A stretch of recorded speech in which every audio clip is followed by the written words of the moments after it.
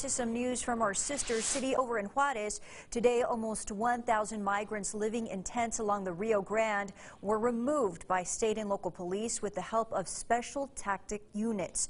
Officials with the state population office say the removal was necessary because more and more children and adults were experiencing hypothermia or getting pneumonia from cold weather conditions.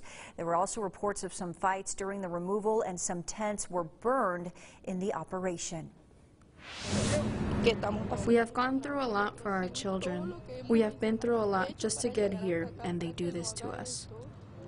Some migrants agreed to go to shelters. Others agreed to leave the camp, but said they wouldn't travel too far from the Rio Grande while they wait on what the U.S. federal government decides to do about Title 42 next month.